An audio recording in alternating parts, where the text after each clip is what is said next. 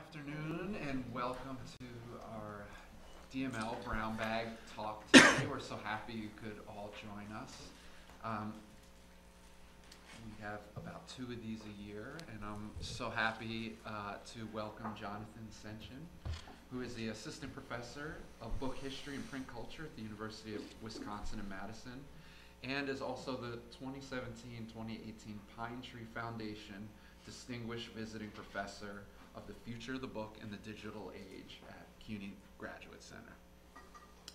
Uh, Jonathan received his PhD in English Literature and Language from Cornell University and is currently working and finishing a book uh, titled Intimate Paper and Materiality of Early American Literature.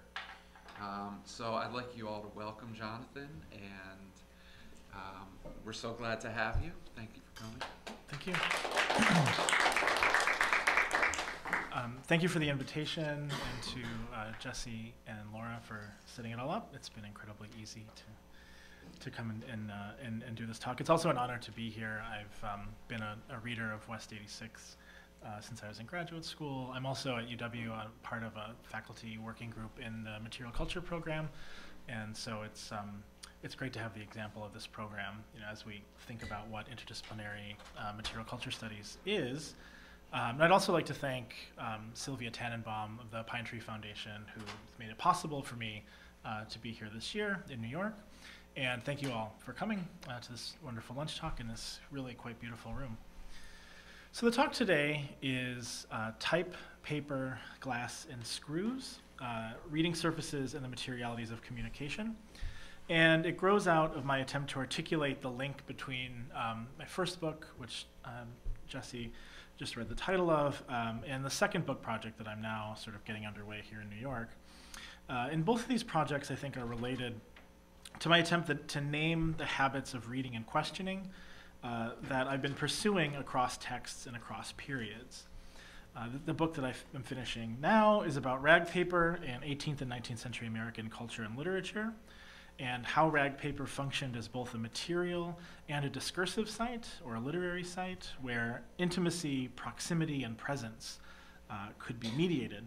Because rag paper was made from cloth uh, that touched bodies, covered beds, stopped blood, or caught wind in a sail, and because participation in the collection of rags was an everyday occupation occurring in the house in the street, readers encountered books, periodicals, broadsides, blank books, and all manner of paper as an archive of, uh, I'm sorry, the, the pop-up that I was told about just, just came. So that should be taken care of.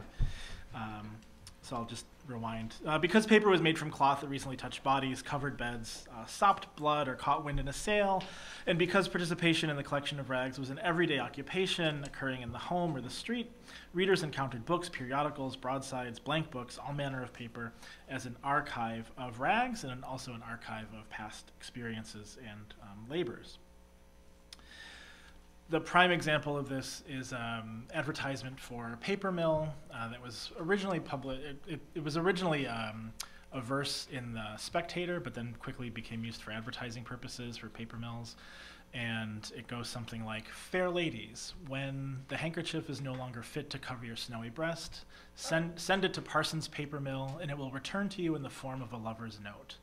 Um, so in this book, I work with um, examples like this of both sort of advertising, anonymously written advertising poetry, uh, all the way through work by Herman Melville and other sort of canonical authors to think about these sort of intimate material circuits between the body uh, and uh, writing, and the ways in which cloth that moves from the body uh, might dictate the way that things circulate in the print public sphere and also dictate what is written on paper. Um, the assumption normally is that paper is a sort of passive substrate or support for writing, but in the in this sort of 18th and 19th century imaginary, uh, that raggy content of paper could actually, they imagined, dictate what would be written on it and how it would circulate through the print public sphere. So my questions in this project have been about how one reads these material traces, about what it means to have uh, what it means to have the rags of early American households worked and collected by white women domestics or enslaved women of African descent, touching our hands now in the present as our eyes scan the text or image that has been imprinted upon it. Um, in the book I'm doing spade work uh, for now is about enslaved printers and other enslaved people in the book trades in the colonial Americas and antebellum US. The first person I've written about is named Primus Fowle, an enslaved uh, compositor and pressman in 18th century New Hampshire. And it's led me to ask similar questions about the methods for reading non alphabetic or non semantic elements of texts in order to understand more fully what is present there and who is present there. The short version, uh, because Primus Fowle and others like him could not read or write, he does not occupy one of the privileged positions that we, at least in literary studies, would usually concern ourselves with. He's not a writer, he's not an editor, he's uh, not even a printer in the strict sense because he doesn't own the press. But without his craft and labor, we would not have 40 years of early New Hampshire print. And the same can be said for print uh, from all over the colonial Americas and slave states and territories of the US. I'm going to return to Primus Fowle for the bulk of the talk um, in a moment. So I've come to think of both of these projects as concerned with legibility. Who and what are legible within material texts? And how would literary history possibly be different if we were capable of accounting for the hand, mind, and arm of someone like Primus Fowle, or the women whose clothes mending, wound dressing, and diapering preceded their collection of rags for paper mills? How could there even be, the American poets Anne Bradstreet and Lydia Sigourney asked, almost 200 years apart from one another, a masculine public sphere of print without a feminine private sphere of domestic work with rags. Um, I'll just move forward to thinking about rags for a second. So here's Anne Bradstreet in 16 uh, in the 1670s. Thou ill-formed offspring of my feeble brain, who after birth didst by my side remain, till snatched from thence by friends less wise than true, who thee abroad exposed to public view, made thee in rags, halting to the press to trudge, where errors were not lessened, all may judge. At thy return, my blushing was not small, my rambling brat in print should mother call. This is a sort of canonical early American poem. If you've ever taken a survey of early American literature course or read anything by Bradstreet, it's likely you've read this poem or heard this poem recited to you, uh, the author to her book, uh, in which it takes up a sort of classic trope of um, early modern women's writing, of the mother of the book and the mother of the child, or the book as child. But this one engages explicitly with the materiality of that book and its connection to the clothing um, and laboring over and around that child. Bradstreet's call to be attentive to the raggy basis of print uh, seems like a decidedly 17th century problem, but as I think about the connections between bibliography, book history, and um, even the digital humanities, I see the political and ethical urgencies of being able to read for the people, labors, and materials that live in our reading surfaces. I hope that our fields will call us and our students to be more attentive to and critical of the material roots of intellectual, cultural, and aesthetic production and to recalibrate what we recognize as legible in the materiality of the texts we read and produce. Since I've used this term surface, um, I'd like to swerve momentarily into a question um, in literary studies right now about called surface reading and its relationship to debates about critique and historicism. Uh, in a 2009 special issue of Representations uh, on the way we read now is the title of the special edition uh, or the special issue, Stephen Best and Sharon Marcus issued a provocative call for what they uh, named surface reading. Surface reading, as they describe it, is one form of the last decade's rejection of ideology critique or symptomatic reading as a literary critical method. Uh, Best and Marcus argue that the ascendancy of Marxism and psychoanalysis in the 1970s and 80s trained a generation of literary and cultural critics to look beyond or through the text's surface favoring instead to plumb its depths, its unconscious or political unconscious. In this history that they provide, Fredric Jameson is the quintessential depth reader, and they quote him. This is Jameson. If everything were transparent, then no ideology would be possible and no domination either. End quote. Therefore, Jameson argued that the work of interpretation was to find a latent meaning uh, behind a manifest one in a text uh, and to uncover political and psychic truths that, quote Jameson, remain unrealized on the surface of the text. Instead of reading beyond the text and interpreting or recovering what lies beneath, Best and Marcus uh, propose that we focus our readerly attention on the surface to what they say is, this is quoting them, actually there. Surface reading, then, is a kind of close reading, but one whose aim is ultimately poetics rather than interpretation. It's also been called like the return to description um, rather than interpretation, or a new formalism in other in other um, other costumes. We will read the text surface and describe how it is put together. Uh, what are its component parts, and how do they work together to make effects that make meaning? Though an incredulous interlocutor might ask which meanings get their effects described and whose writing counts.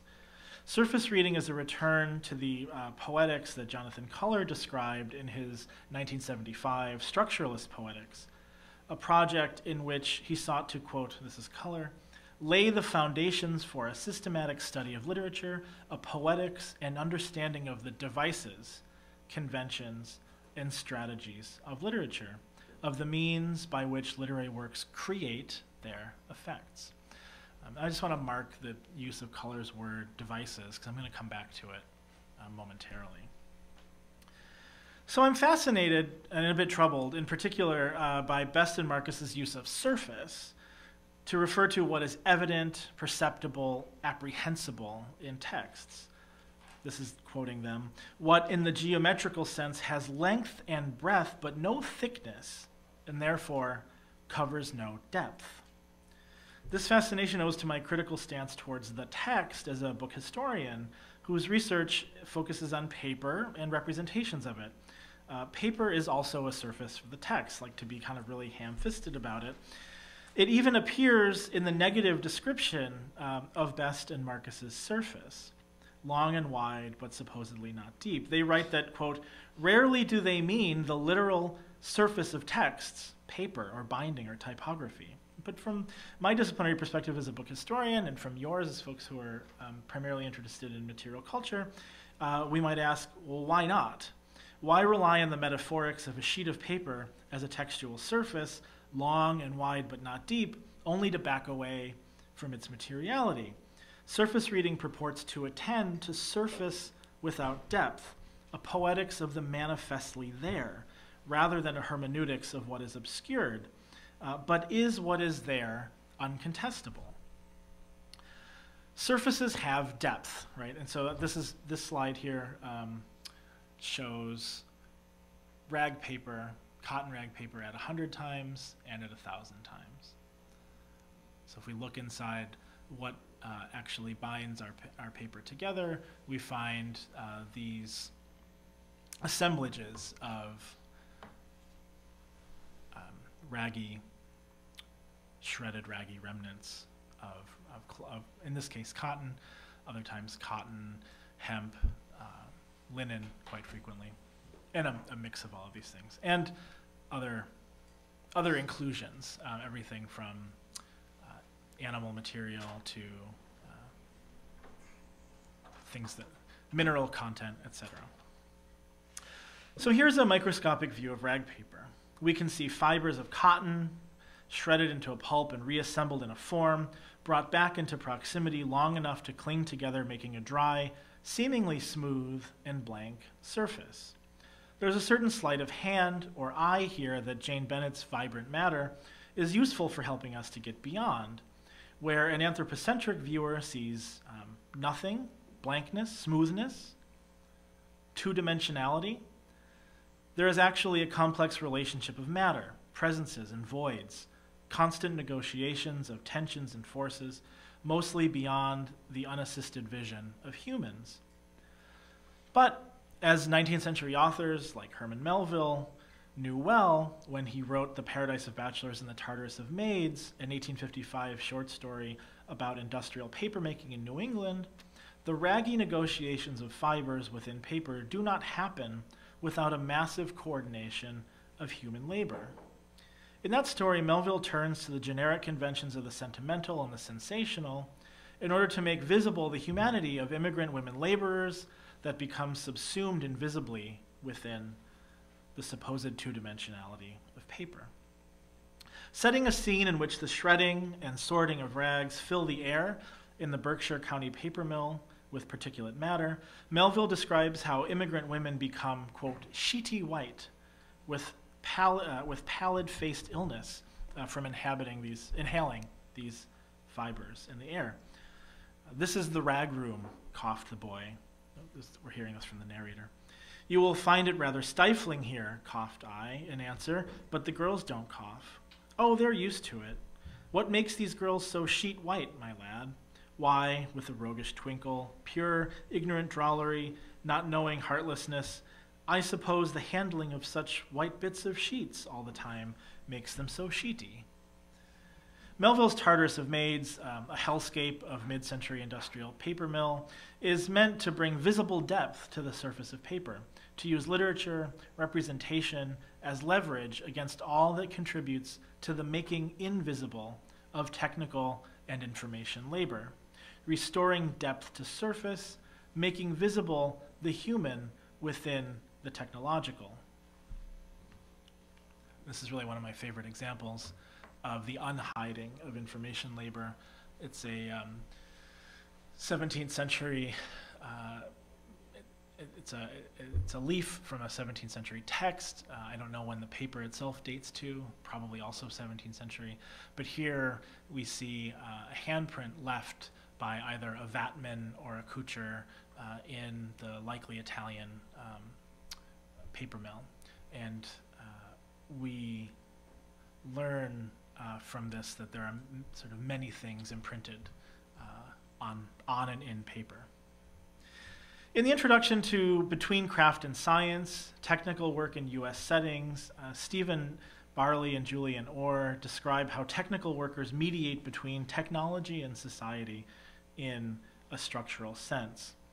Because they link us to technologies that are nearly transparent when they work and troublesomely opaque when they do not.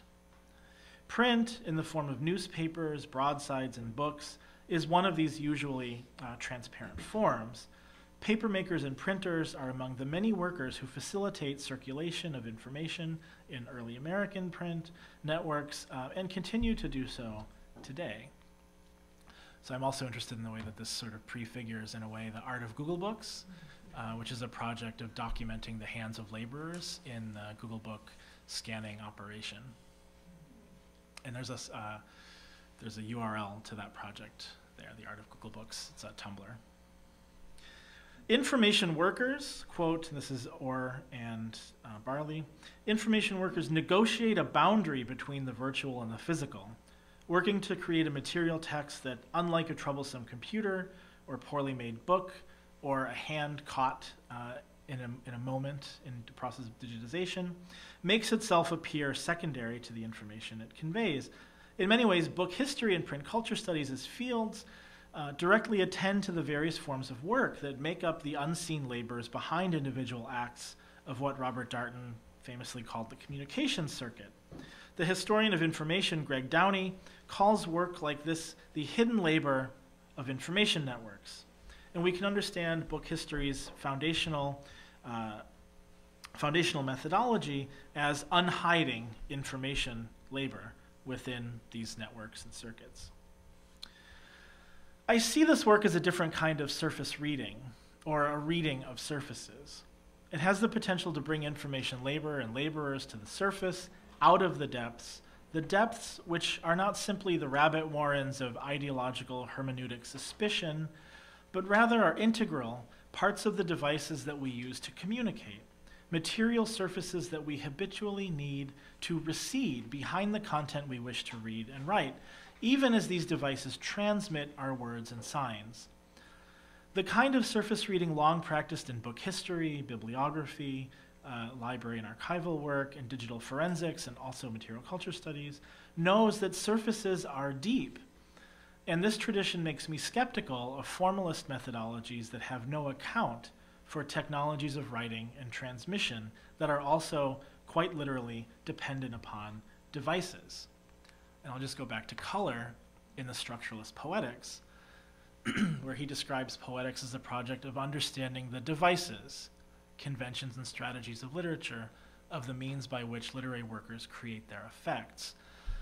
and I've included just a photo of um, of a uh, 21st century cell phone with a glass screen to underline uh, the ways in which these reading surfaces appear invisible um, until the moment in which they become uh, frustratingly uh, visible to us uh, when they don't work right, when they unhide all the processes behind them. And also just to point out that Microsoft has a product literally called the Surface, uh, their tablet, which is just useful to think about, again, in a kind of like forcing the issue way, what do we mean when we talk about devices? Devices that make literature possible, that make meaning possible. So I want to pivot from this discussion of surfaces to readings of writing and print traces left by two information workers. The first, Xu Zhi, and the second, Primus Fowle. Having established that book history and certain kinds of digital humanities, like digital forensics and digital bibliography, uh, offer us different ways of approaching the idea of the surface and the materiality of the surface, I now move into a discussion of what this could mean for literary and cultural criticism in book history and I think also kind of critical digital humanities. My first example from Li Zhi involves a common aesthetic object, poetry, while my second example pushes the boundaries of reading surfaces by introducing ways that we might read the non-alphabetic, making legible the most material aspects of text production in the people who do it. Um, I think Li poetry is a way in to this 18th century example from Primus Fowle that I'm gonna that I'm working up to. The final destination is a call for people who work with material texts, whether medieval manuscripts or bulk metadata, to adopt a framework for thinking about the appearance, circulation, consumption, and movement of material texts that make paper, that makes paper, glass, pieces of lead and type and metal screws, and all the people who touch them legible. Um, I'm going to talk next about uh, a man named Xu Li Zhi, who uh, was a worker in a Foxconn uh, factory in Shenzhen, China, just a content warning, I discuss uh, his eventual suicide. Um, so just letting you know that's coming. Xu Lizhi, a young Chinese man originally uh, from rural Guangdong province, worked at the massive Foxconn factory in Shenzhen, one of the world's largest manufacturers of digital devices and a subcontractor for familiar brands like Apple and Samsung. 500,000 people uh, worked at the Foxconn factory in Shenzhen in 2011. That year, the company employed 1.3 million people in total. Foxconn City, as the factory's physical plant is known, is 1.16 square miles. If you own an iPhone, chances are near 100% that it was produced at Foxconn. The economies of scale and speed Foxconn claims to have achieved are what makes it supposedly impossible for Apple to produce devices in the United States. Working conditions have been described as brutal, between 2007 and 2013, there were 23 worker suicides at Foxconn, many involving people um, leaping to their deaths from the roof of on site dormitories, including Xu Li Zhi, who took his life by jumping from a Foxconn dormitory on the 24th of April 2013 at the age of 24. Li Zhi, like many young people from rural areas, hoped to make money at Foxconn and move into other kinds of work, mostly with books. Uh, his friends say that he loved the Central Book City in Shenzhen, possibly the largest bookstore in the world, which offers 3 million books for sale. He tried to get a job there, but was not hired. After his death, a friend recalled that Zhi's dream was to become a librarian. Back at Foxconn, Zhi tried to move from the production line to a job at the company's employee library. Again, he was not hired. The same friend said that though Lizhi was miserable at Foxconn, he did not want to return to his rural hometown because online booksellers would not deliver to him there. Lizhi wrote poetry about his life and work, uh, poetry that went viral online last, uh, last year after it was translated into English and news of his suicide spread along with it. I want to focus on something that Lizhi's poetry shares in common with Melville's Tartarus of Maids the way it invites a reading of the human agency within the depths of material reading surfaces, these ones digital. Here is uh, I Fall Asleep just standing there, just standing like that. Um, I cannot read uh, in um, Chinese characters, so I'm relying on translations posted to Chinese social networks and then shared on English language blogs and news sources. The link on the PowerPoint goes to a slide that includes uh, the original poem as written by Xu Lizhi. I fall asleep just standing like that. The paper before my eyes fades yellow. With a steel pen, I chisel on it uneven black, full of working words workshop, assembly line, machine, work card, overtime, wages. They've trained me not to be, they've trained me to become docile. Don't know how to shout or rebel how to complain or denounce, only how to silently suffer exhaustion. When I first set foot in this place, I hoped only for that gray payslip on the 10th each month to grant me some belated solace. For this, I had to grind away my corners, grind away my words, refuse to skip work, refuse sick leave, refuse leave for private reasons, refuse to be late, refuse to leave early. By the assembly line, I stood straight like iron hands like flight. How many days, how many nights did I, just like that, standing, fall asleep?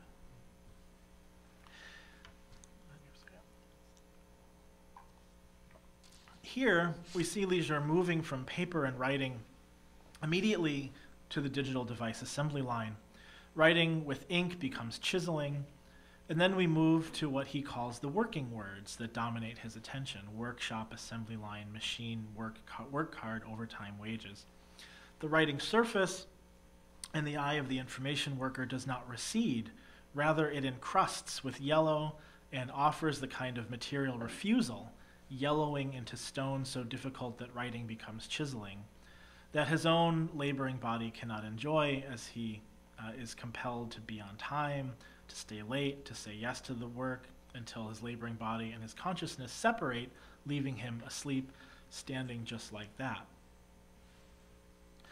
In the second of his poems that I want to read today, it is a metal screw, not paper, that emerges as the part of the material text to which the information laborer and poet wants to draw, uh, to which the Lizhi wants to draw our attention. A screw fell to the ground, a screw fell to the ground in this dark night of overtime, plunging vertically, lightly clinking.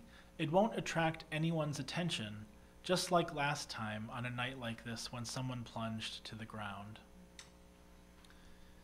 Here, the eye and ear of the information worker is, attend, uh, is attuned to the screw. How often have you considered the tiny, almost imperceptible screws at the bottom of your phone? Like the flat and shiny screen or the blank sheet of paper, it probably was not. It probably is not very frequently uh, that you notice these things unless you break your screen and need it replaced. Information technology, screen and paper alike, normally receding from view behind the information meant to be conveyed. But for Lizhi, the screw is a point of identification for the information worker. It may be that the focus of his or her labor on the assembly line installing one or a small handful of tiny screws over and over again. The worker's ear is capable of picking up the light clink of the screw's fall. The act of noticing the screw is special since the poet says it won't attract attention, yet it has registering either in the poet's ear, the information laborer's ear, or both. And it has attracted our attention through this poem, a work of literature translated into English that attempts to make audible and visible the screw, offering an account of the legibility of material textuality from the non reader's position. You tweet this talk, you call your partner, the phone depends on the screws. They are part of the material text before you as you read the Twitter stream or your email. But the screw is not legible to you. and neither is the body of the Foxconn worker whose fingerprints were wiped off with N-hexane before it was shipped, or as the body plummets in the night like the screw to the floor. Literature of material textuality, from Melville to Lizhi, tries to reverse these processes of unseeing or not seeing, the processes of hiding that are both necessary for everyday reading and also politically troubling. Tartarus of Maids in 1855 and A Screw Fell to the Ground in 2014 both tried to make paper and screws legible for readers in new ways. These moments reconstitute the public sphere of reading into an expanded sensorium of material texts, a point I'll return to at the very end. So I now move from Xu Lizhi in the 21st century to Primus Fowle in the 18th, an enslaved person. I'm sorry, I lost my. Uh, an enslaved person of African descent who was enslaved by Daniel Fowle, a Boston and then New Hampshire printer. I make this move not only through a commitment to the continuities between print and digital culture, but also because in my work I'm trying to think about the, these material legibilities, forms of communication, uh, and the literary that are non alphabetic. The piece of unshredded rag and rag paper, the accidental handprint watermark, the loose screw, a mark from a piece of broken type. What narratives might be here? Whose stories will we find, and whose presence can we feel? After its founding in 1756, the New Hampshire Gazette was printed by an enslaved man, Primus Fowle. The initial page of the Gazette's first issue features a prospectus from the printer to the public. The printer writes, I now publish the first weekly Gazette for the province of New Hampshire, as this is just the beginning of printing in this province. The printer who speaks, however, is not the same person as the printer who prints. The back page of each Gazette states that the paper was printed by Daniel Fowle. But as we know from Isaiah Thomas, first historian of American print, Primus Fowle ran Daniel Fowle's presses, and during their first eight years in New Hampshire, he likely did so by himself until the earliest of Daniel Fowle's white apprentices arrived.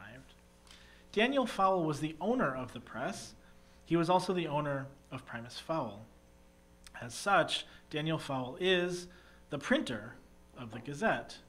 Some accounts go so far as to erase Primus Fowle from the room entirely, like Lawrence C. Wroth's Colonial Printer, in which Wroth writes that, quote, save for an interval of 10 years in which Daniel Fowle was assisted by his nephew, he continued his press alone until his death in 1787. Wroth's erasure of Primus Fowle is in keeping with the pattern of non acknowledgement through which laborers, especially the enslaved, are left off the record. On the other hand, uh, Primus Fowle is prolific. He worked for 50 years as a printer, creating thousands of copies of newspapers, books, broadsides, and other materials that we can still hold and study in archives. This is especially true during the eight years of the Gazette's existence when it was essentially a two man operation, with Daniel Fowle composing type and Primus Fowle running the press. Primus Fowle's work is, in a way, voluminous and materially present to us, yet the person himself remains rather obscure. One way around this problem is to pay attention to the very materiality of the print that he produced, temporarily suspending initial desires to read the semantic information it conveys. Primus Fowle was a prolific creator of material texts, I'm sorry, if Primus Fowle was a prolific creator of material texts, which he was, then it is precisely in the most material aspects of his productions that I argue that he'll become visible. And before I get there, I just want to describe this rather remarkable uh, artifact. This is the back page of a broadside uh, that's held in the Rauner Special Collections Library at Dartmouth College.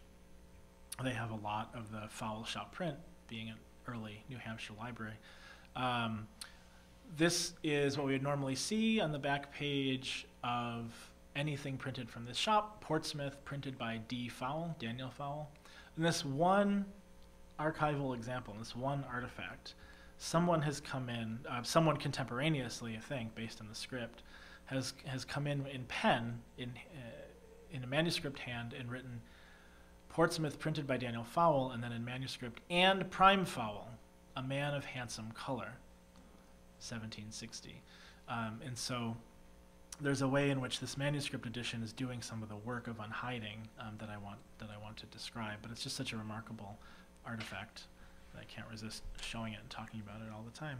It's also, as I'll talk about a little bit, the artifact through which the digital information infrastructure of this library was able to add Primus Fowle um, as an author, creator, or other subject you know, within the sort of digital recording of this object. So one thing we know about Primus Fowle, the historical person, uh, from contemporaneous accounts, is that he was disfigured by the act of pulling impressions on the hand press. The four very brief 18th and 19th century written sources documenting Primus Fowle's life suggest that pulling the handle on the hand press left him permanently bent forward at a 45 degree angle. Uh, Charles Brewster, in his 1859 Rambles in Portsmouth, recounts that, quote, through long service in bending over the press, he was bent to an angle of about 45 degrees. Primus Fowle becoming permanently bent at the waist as, as a result of repetitive pulling of impressions is consistent with the widespread phenomenon called printer's arm, uh, the strengthening of muscles on only one side of the body or the spine from repetitive motion. Um, and it is and also consistent with an account of Primus Fowle's uh, an account of Primus Fowle immediately following his death in 1791. In a verse epigraph published in the Gazette, his news, the, the newspaper he produced, uh, this is days, weeks after his death, in May 19th, 19, uh, 1791, we read that, quote, Primus, a Negro late the property of Daniel Fowle, is deceased. He was a hearty friend and did possess a grateful mind, though oft borne down with pain. The pressure that Primus Fowle applied on the press created marks both on his body, or in his body, and on the sheets of paper that became the Gazette as he pulled.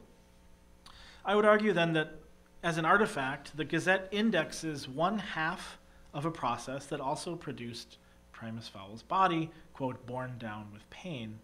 For every impression of letter and image into a page of the Gazette, there was an equal impression made in Primus Fowle's body an archive of newspapers, and a painfully disfigured spine resulted from the same process, the same pull. The tendency to privilege the ideas expressed in writing on a printed page means we usually overlook the non semantic marks of a material text, but those marks may be the best indices of Primus Fowle's forceful pulling.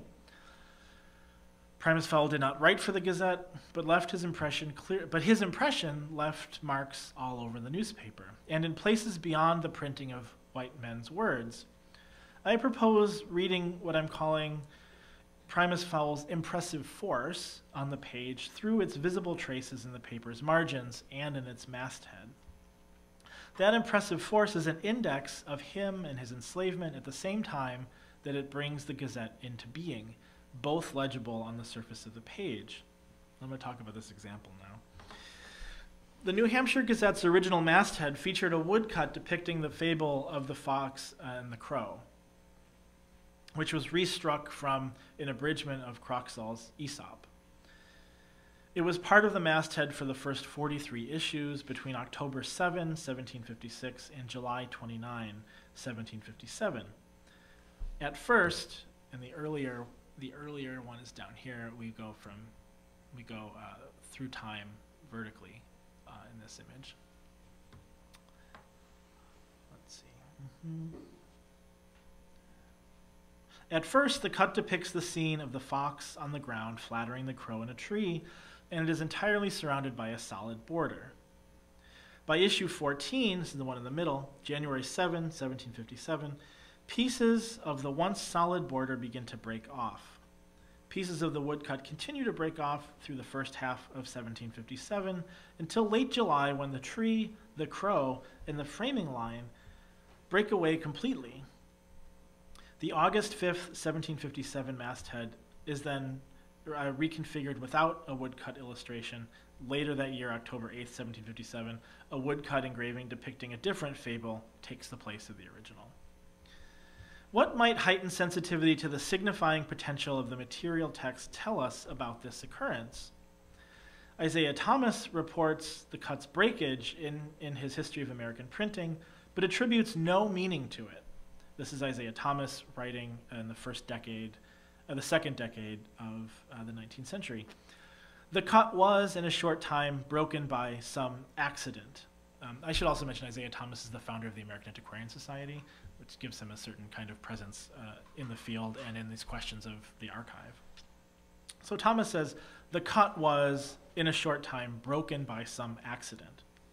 But that accident is precisely where we might say Primus Fowle was here. The breakage is either directly resultant from or quickly worsened by the force of Primus Fowle's pull. An accident can also be that which is present but not, but not necessarily so a material remainder beyond what is considered the essence of a thing. We might think of how the term accident is used in um, Christian or uh, Catholic accounts of transubstantiation, right? The bread and the wine are the material accidents. Um, primus Fowle is likewise present, but not necessarily so, accidental to the production of the Gazette's information. But accidents are also historical contingencies. And like Primus Fowle's pulling of the press, happen in a particular place and time and create a particular material record. So I would advocate for a reading of the richness of such accidents. The thin line or wood, or uh, the thin line of wood at the point where the breakage begins is structurally the weakest part of this cut. At that part of the cut, there is no supporting material stabilizing the piece that prints the line. As we can see, slowly over time, uh, over the course of the first year of the Gazette, pieces break away from the down and outward force of the platen. The breakage can be attributed to the force of Primus Fowle's press work and is a place in the material text where we can tangibly locate his presence in the production of the Gazette without necessarily being distracted by a call to read writing, although here we can read visually, which is an issue that I've been thinking a lot about lately. Here is the excessive force of Primus Fowle's press work pushing down to create the image, but also flowing outward and breaking the cut. Refusing to regard the results of Primus Fowle's presence as insignificant inky accidents, we engage in what um, African Americanist uh, Lois Brown has called, in a related context, the, person, the purposeful reclamation of the ordinary in African Americanist recovery work. Ordinary sources, those that might escape notice when one is looking for more traditional evidence, quote, this is Brown, give voice to the subtle accidental connections that can help bring submerged African American histories to light. At this early moment in the Gazette's publication history, Primus Fowle was pulling the press and slowly, over time, breaking the masthead engraving. We have no reason to believe he did it purposefully, and I don't think it matters uh, if he meant to do it or not. We need not have intentionally broke he need not have intentionally broken the engraving in order to inscribe a message or to leave some subtle sign of subversion of Daniel Fowle. The breakage is simply a visible record of the fact that Primus Fowle applied force to a press and made the inky impression that we can read and touch in the Gazette. Primus Fowle left no record of his voice or words, but he did leave everyday ordinary marks all over the print he produced, marks that were not intended to be put there by a writer or editor. Accidental or not, they are Primus Fowle's marks created by him.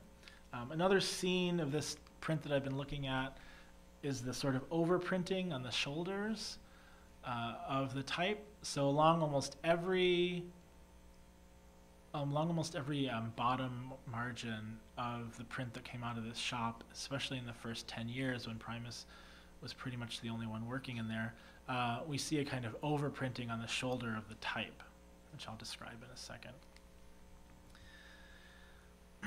Early issues of the Gazette make frequent use of, the, of its margins to include information that would not fit within the regular columnal, columnar frame, making it necessary to turn the paper and read in the margins. You know, there's like a late breaking news or an advertisement that comes in late, they just print it right there in the margin, and you kind of have to turn the page uh, often, often to read it.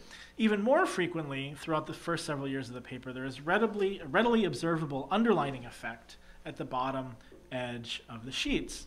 As Primus Fowle inked the type before making the impression, he deposited ink on the shoulder of the type, the part of the type body that is lower than the letter form, uh, the shoulder that is not type high, and therefore not meant to print.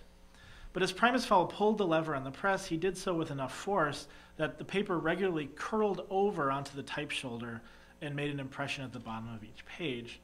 The effect is not uncommon within the pages of the Gazette and is observable in nearly every issue of the paper's first year and other broadsides when Primus Fowle was operating the, uh, the press.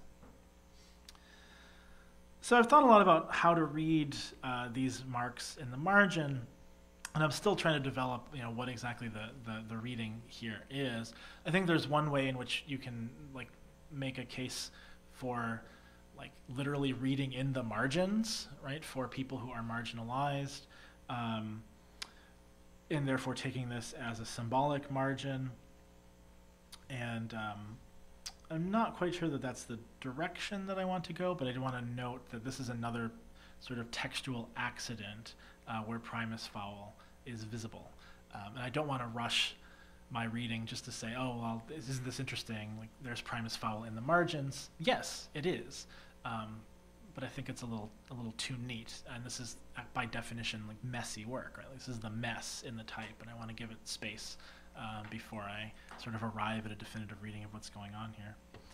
But um, I do want to say that once Primus Fowle and his marks become visible to us, I think a new kind of reading is possible.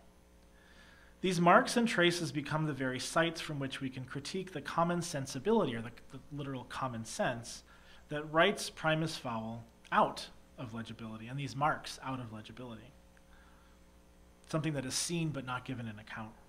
In other words, the marginal printing and other non alphabetic uh, material text gives us a way of making visible what lies outside the common political and aesthetic frames of both 18th century print culture and our contemporary encounters with it in the archive.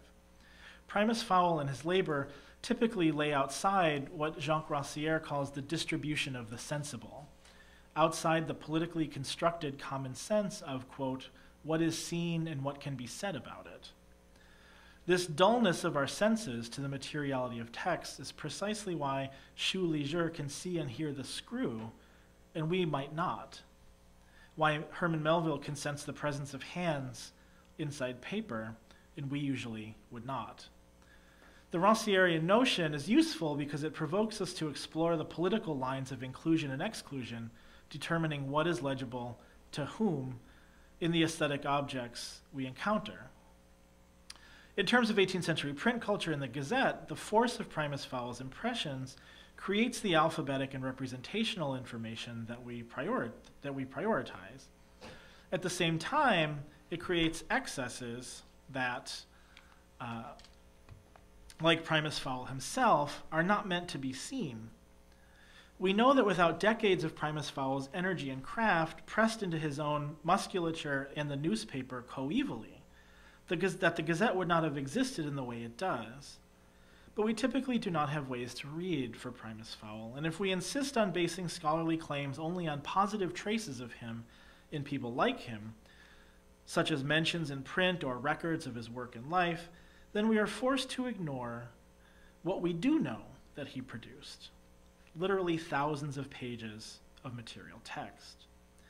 This, then, is a call to change our very sense of print and reaching back to the beginning of this talk, our very sense of the digital. I'd like with this work to provoke a reallocation of our distribution of what is sensible moving the line between legible and illegible far enough that Primus Fowle's marks are seeable as evidence of his work, his craft, and his presence within the archive of an otherwise all white newspaper. And for the best example of this kind of recalibrating senses outside the restrictive frame of publishing, authorship, and reading in the public sphere, um, one great example of this work is Elizabeth Maddock Dillon's new book, New World Drama, where she develops the idea of a performative commons in which she says illiterate subjects like Fowle materialize and become visible and legible on their own terms rather than through the technologies of social death. It may ultimately be impossible to put names to publications and names to devices in all cases, but the interdisciplinary work of book history, digital humanities, material culture studies, has shown that sometimes we can comprehend print and digital laborers through the material texts they created and the records surrounding them. In general, this work has not been done for enslaved printers, compositors, engravers, paper makers, and so on.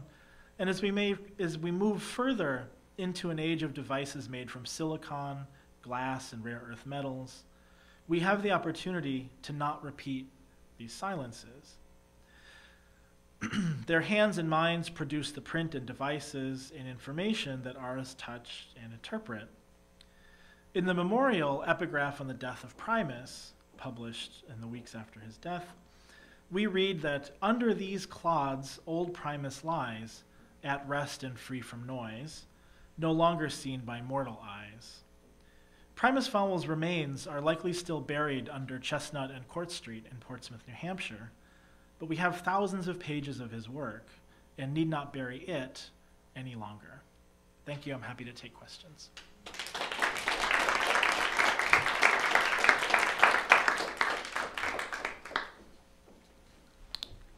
Thank you so much. Any, any questions? Yeah, thank you, that was really fascinating.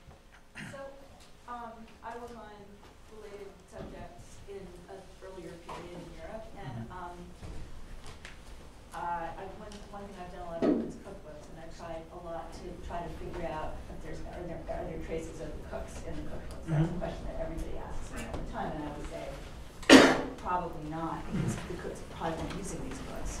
But um, in terms of other kinds of traces, could you argue that, that you can make this argument even when you don't have the actual traces? In other words, you're lucky that you have all this, but this is pretty rare.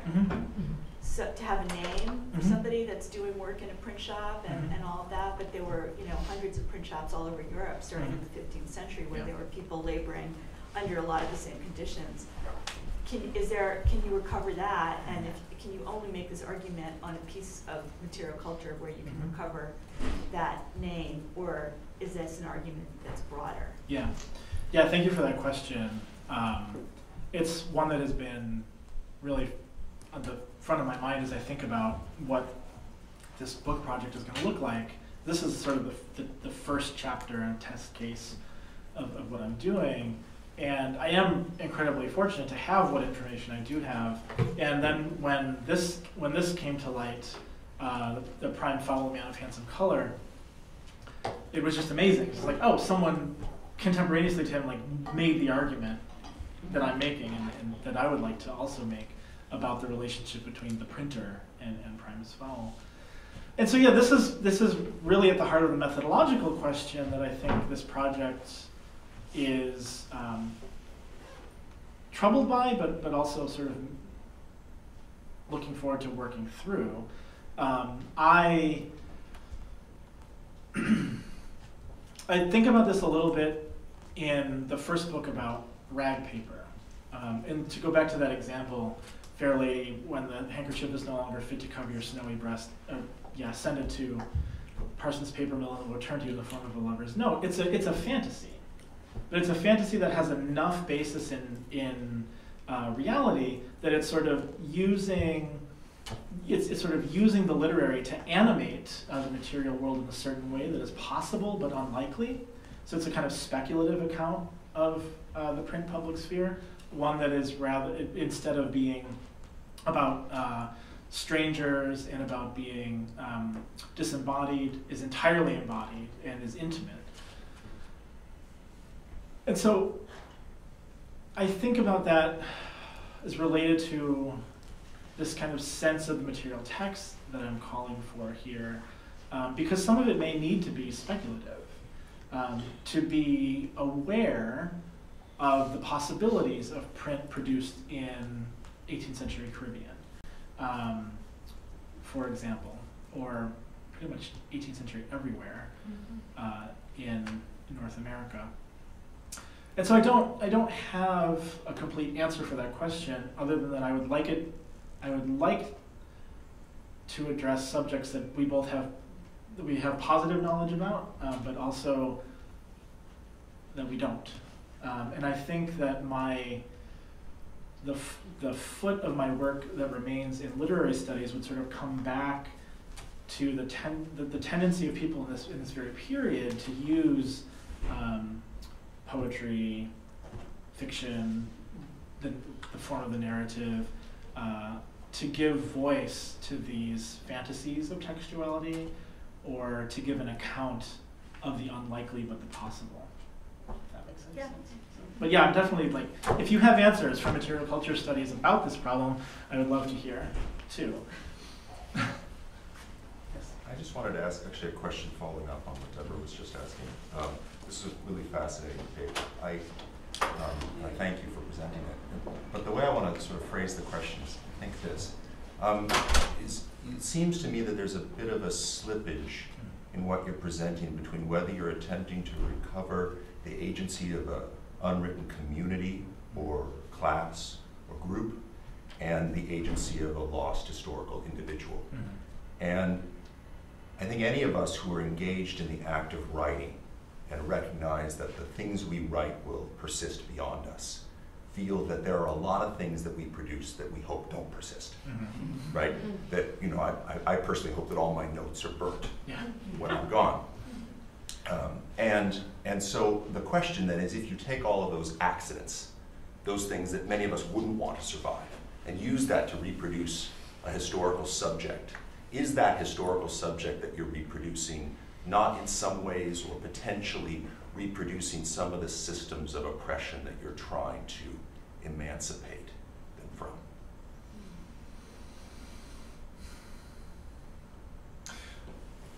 Well, I, I mean, I don't know.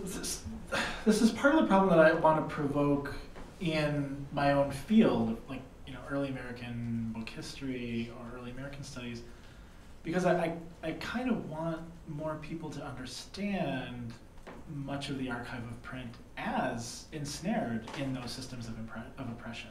Right? Like, what, what possibly could a white author newspaper in New Hampshire have to do with history of slavery? Well, it turns out everything, right? Um, but we often don't think about our archives of print as you know developed out of and as actual material returns, as valuable material returns on enslaved labor. Um, so I think I you know I kind of want to preserve that um, that's structure. I don't know. That's not right. I don't want to preserve the structure of oppression. I want to make it visible where uh, at first it isn't. Not to say that everything that is written uh, in in in the New Hampshire Gazette or in other texts that are produced through compelled enslaved labor uh, are, are somehow corrupt and not worth looking at, but rather to think about the hard the, the hard work of thinking about the entanglements uh, with enslavement and with the revenants of enslaved people within within these texts. Um, that being said, I I would follow the work of some of my colleagues like um, Tara Bynum, who's at Hampshire College, who does a lot of work on Phillis Wheatley, uh, who's writing a book on how we shouldn't necessarily understand Phillis Wheatley's life as only a struggle, uh, only and always a struggle with um, with slavery and, and trying to subvert enslavement. It was, um, you know, clearly she lived a lot of her life enslaved, uh, and clearly that matters for her. But um, Bynum writes about Phil- Phillis Wheatley's friendships um, and her letters between friends, um, and to think about like friendship as a register in which we can think about enslaved life uh, or life while enslaved. Um, so I wouldn't want. I also wouldn't want to look at this and say Primus Fowle's life was a life of misery and misery alone, uh, and, and that you know we can only encounter him through this kind of everyday drudgery of running the press. Um, although I do think it's meaningful that that press work um, reconfigured his body and caused him pain. I wouldn't want that to eclipse or to become you know, all we know Primus Fowle through at the same time. How, how might we think about reclaiming digital workers, Mhm. people who are building hardware, working with the screws and the screens? Is it, is it necessary for us to know, or is this something we, I'm thinking about like tags and clothes that say inspected by, it's Mhm. like a little remnant of somebody who actually touched the Mhm. clothing we end up wearing, but I'm thinking like my phone, it doesn't have that. Um, uh, um, I just wonder if you thought about that, how we, these artifacts lead back to a person, um, but it would, I feel like it would be much harder Mhm. to do that with Mhm. our digital, uh, materials. Yeah, I've- I've thought about this in, t- in at least two ways. Um, one, again, is to think about the work that literature does. So, the Melville example is like a magazine story that sought to make the conditions of the production of the magazine actually legible and visible to the people who purchased Harper's in 1856. Um, but there are other ways that uh, aesthetics, writing, um, provoke these forms of identification, sort of troubling politics. Uh, in the first, I can't think about maybe around 2009. If you go back to um, technology magazines, online technology magazines, there's this thing called iPhone Girl. Uh, do you still remember iPhone Girl? No. Uh, so it was another view into into the Foxconn factory. It, Xu Lizhi's view in is through poetry. Um, iPhone Girl was this instance where uh, apparently in the production of an iPhone, at the end of the production line, um, the workers are supposed to test the camera to make sure it works by taking a photo and then deleting it. Um, so iPhone Girl is a photo that was not deleted. It was a young woman who worked at the Foxconn factory, uh, and someone bought, you know, went out and got an iPhone, opened up their pictures, and there she was. Uh, and it was a first look into these factories, which are incredibly secretive because of trade secrets and all of that. Uh, but it also, it also had, um, you know, a photogenic young woman's face, and people then wanted to know her story. Um, and the use of sentiment can be really important in the 18 in the 19th century as well as now. So from the iPhone girl moment, um, a storyteller named Mike Daisey started doing a bunch of uh, research into Apple products and Shenzhen, uh, traveled to Shenzhen, came back and did a one-man uh, show in Chicago called Mike Daisey and the Apple Factory, in which he tells the story of going to Shenzhen and meeting workers and talking to them about the conditions there, uh, and talking about his own, you know, sort of guilty relationship to his devices. And, and um, he tells a story of a young girl who be, who is, um, you know, too young to work, but is still working, and she becomes injured and disfigured by her work in the Foxconn factory. Um, and it's very much like a 19th century mill girl story that was used to, you know, provoke any number of reforms uh, in 19th century industrial mill towns and things like that. Daisey's story got picked up by This American Life in late 2011. And it was an entire episode of This American Life was his one-man show, Mike Daisey and the Apple Factory, in which he tells this story. Um, and the, the fallout in the next week is pretty incredible. Um, all of a sudden, people start asking these questions. What is my ethical responsibility to, um, as a consumer of this? And are people getting injured? And I haven't thought about these people. Uh, about a couple months later, uh, somebody uh, called Ira Glass, I guess, or somebody at um, This American Life or WBEZ in Chicago and said, wait a second, I knew this guy, parts of the story are made up. Um, this isn't all true. It, in, the, in the intervening months, the New York Times launched an investigation of Shenzhen. It provoked Apple to do a self-study of the, of the contractors that they used, and they did find a number of the labor abusive labor practices and illegal labor practices that Daisey had talked about. Um, but somebody somebody calls and says, "Wait, this guy's making some things up. Not everything happened. The people he described aren't real." One of the things that Daisey does is take like events that happen to different people and combines them into the figure of the young girl, because he may or may not know, like since the middle of the 19th century, like the sentimental figure of the young girl embroiled in the industrial scene, uh, either in Melville or um, in novels like The Silent Partner by Elizabeth Stuart Phelps, moves people politically.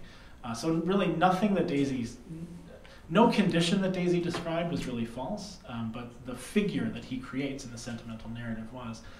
And to this provoked This American Life to um, have this entire episode retracting the story. The story is called Retraction, and they spend an entire hour going detail by detail through all of Daisey's uh, all of Daisey's story, and completely distancing themselves from themselves from the story. You can't actually listen to the original story, Mike Daisey and the Apple Factory, on This American Life's archive anymore. You have to go to a web archive where people have um, preserved it. They don't. Ira Glass don't have anything to do uh, with the story after that. So I think there's an interesting lesson there about like the work of um, narrative, the work of literature, film, representation. You know, all the way from the power of the visual of seeing iPhone Girl to um, the way in which a story provokes um, political movement. Um, so you know, it did it did force Apple to own up to some willful uh, ignorance about what their contractors were up to, and it did apparently provoke changes in what was going on in the factory. But it also provoked a kind of crisis of um, uh, of, of, of, truth and representation in uh, this American life, which is fascinating. A friend of mine uh, named Mike Dwyer, teaches at Arcadia University, uh, we were talking about this, this, this, this American life crisis. And we said, like, do you really think that their fact checkers uh, really verified that David Sedaris actually had uh, marijuana floating in his urine sample when he went to work as an elf for Macy's. It's a famous part of, of uh, David Sedaris' story of uh, working at Santaland was that you know he can't believe that he was hired after failing a drug test. He says there were roaches floating in my urine. Um, so why in that story can This American Life run it uh, for a certain effect, and why in another do they have to distance themselves? I mean, the answer is global capital, but um, it's interesting nonetheless. The second thing, very long answer to a, a, great and simple question. The second thing is, I think, noting the infrastructural turn in a number of scholarly fields. So instead of focusing on individual expressions in the way that I just was, thinking about, uh, I think more people in a number of fields are rather thinking about like the infrastructures that make communication possible rather than individual communications. Um, and that, that seems significant as we begin to think about digital devices in, in particular to make, um, early on I, I, talked a little bit about like the project of poetics and a kind of formalist criticism that wants to, you know, study the systems of meaning making of, uh, and, and, and rather than, you know, historicizing individual texts. I think infrastructural studies um, are an interesting and I think in some ways better version of a kind of formalist approach, um, not to, to literature, but to the, the, the, sort of technological field and social field of communication making and meaning making. Sorry, someone else didn't have a chance. Yeah. I don't, I, I mean, I thought it was a great presentation. I don't want to um, take more people's time. But I want to ask a contrarian type of question because looking, for instance, at that slide there, Mm-hmm. you know, I wonder for myself whether something like that leads me in my scholarship to a kind of nostalgia. Mm-hmm. And I'm wondering how you deal with that, the threat to science, to research, from a kind of sentiment, sentimentalization of the possible sentimentalization of the past. Because in a way, does the handprint change the words that he composited or not? And if not, do, do we then have a kind of uh, bifurcation between sort of the life of an object and the sentimental reconstruction and what, what's actually said in the newspaper? So, I think I wouldn't ultimately argue for an either or on this. In this particular project and, and the work that I presented today, I'm very purposefully focusing on moving away from the alphabetic. In part because sort of it was a thought experiment for me to not pay attention to what is written in the newspaper, to see what else becomes visible. Uh, I think beyond beyond that experiment, there's a lot to be said about the relationship between one and the other.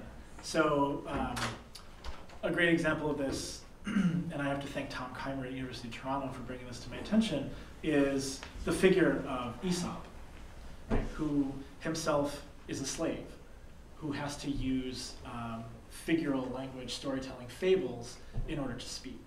And what is the what are the what are the layers of meaning between Primus Fowle's printing that, um, Primus Fowle's effect on the cut, and also the story of the fox and the crow, or the, the figure of Aesop. So I don't know that I would, I don't know that I would separate them, for one, ultimately, even though I did here. I think that uh, there's important work to be done that will think those two moments together. Um, I also don't know that it always leads to sentiment. I think that writing about this, writing about these people is often sentimental, or using the history of sentiment in order to jar readers out of the habit of not seeing.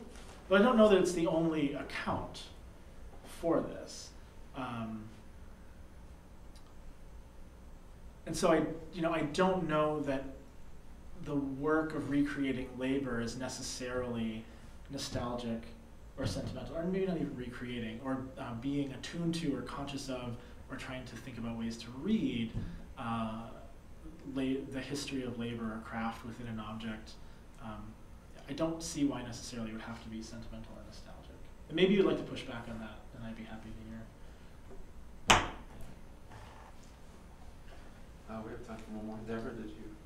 Well, I just, this- this is more, I, I don't wanna provoke, I mean, we don't have time for a whole longer discussion of this, but I just, you started, um, in the beginning, you were talking about surface, and, uh, it's just my observation that what you're doing here is anything but on the surface. Mhm. I think it starts with the surface, and your, your image of the, you know, the micros- microscopic view of the rag paper, but, um, kind of infrastructure is not surface. Mhm. And so I just, you know, maybe in a, lo- a longer form, that's worked out Mhm. more, but, um, you know, it's not, it's not, I mean, I think it is more contextual analysis of sort of material culture Mhm. studies, the way, you know, you do of a painting and you find the, tr- the artist's hand or something Mhm. in the painting and you wanna understand the techniques and, and all of that, but, um, it, it, it rapidly goes way beyond the surface.